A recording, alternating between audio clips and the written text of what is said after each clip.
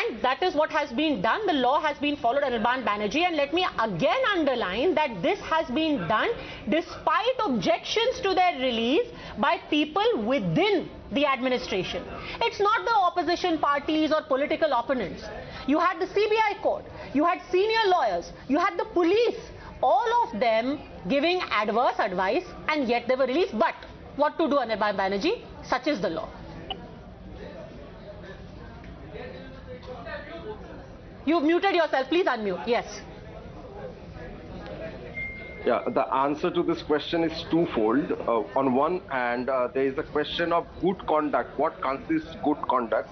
I must say that to any person belonging to the civilized world, what good conduct is for the RSS BJP, it is the exact opposite.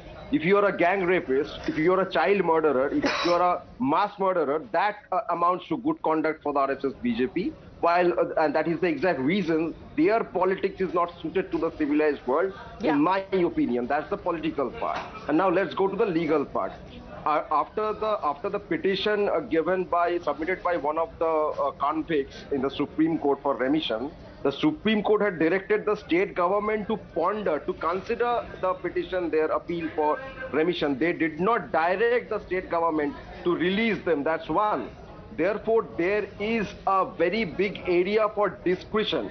Okay. When there is a committee that is constituted by the state government, you include BJP leaders, BJP MLAs within that committee And, to ponder and over let's the say this very clearly. The investigating agency in this case was the CBI.